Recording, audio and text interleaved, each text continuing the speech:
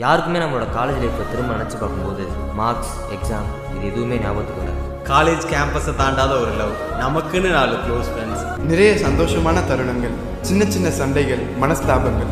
இப்படி நம்ம மனசை லேசாக்குற நினைவுகள் தான் கண்முன்னாடி சந்தோஷ கண்ணீராக வந்து நிற்கும். என்னதான் எங்களுக்குள்ள எவ்வளவோ பிரச்சனைகள் வந்திருந்தாலும் இங்கே காலேஜ் எங்களுக்கு கற்றுக் கொடுத்த முக்கியமான ஒரு விஷயம் ஒன்றா ஒத்துமையாக எப்பவும் இருக்கிறது.